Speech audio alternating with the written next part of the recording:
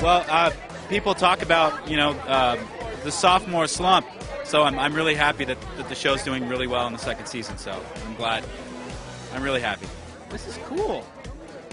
I don't remember exactly what I was whispering her in her ear at at that time, but I'm sure it was riveting.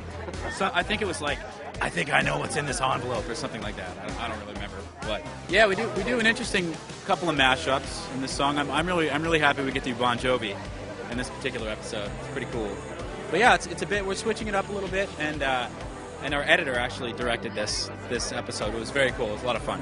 I mean, she is she's so talented. She's she's she's like a true triple threat, and I didn't even know that. I've, I love her movies, and I've seen all the movies she's been in and stuff. But I mean, uh, I didn't I didn't know that she could sing and dance like that. She's fantastic.